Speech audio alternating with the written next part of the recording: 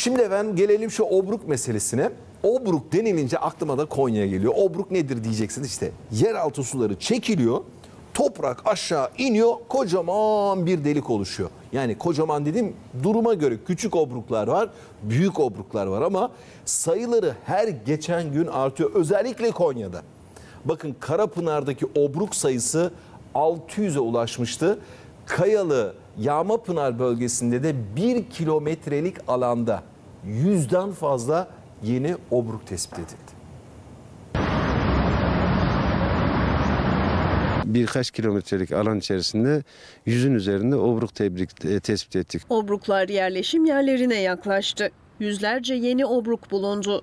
Konya'daki obruklar bölge için risk oluşturuyor. Bölgenin birçok yerinde yerleşim merkezlerinin içerisinde de obruklar oluşuyor. O nedenle e, bölge için obruklar aslında şu anda ciddi bir risk. Konya'nın Karapınar ilçesinde sayıları 600'e ulaşan obrukların risk haritasının hazırlanması için çalışmalar sürüyor. Ancak bu kez de Kayalı Yağmanar bölgesinde 1 kilometrelik alanda çok sayıda obruk tespit edildi. Bunlar işte birkaç metre çapından e, 10-15-30 metreye kadar giden çaplarda ve değişken derinliklerde yüzün üzerinde e, obruk var. Bölgedeki çalışmaların 3,5 yıl sürmesi planlanıyor. Net verilerse yıl sonuna doğru ortaya çıkacak. 3 yıllık periyotta bölge içerisindeki olası en hızlı yöntemlerle obrukları tespit edip 3 yılın sonunda bir eylem planına doğru gitmesi için çaba göstereceğiz.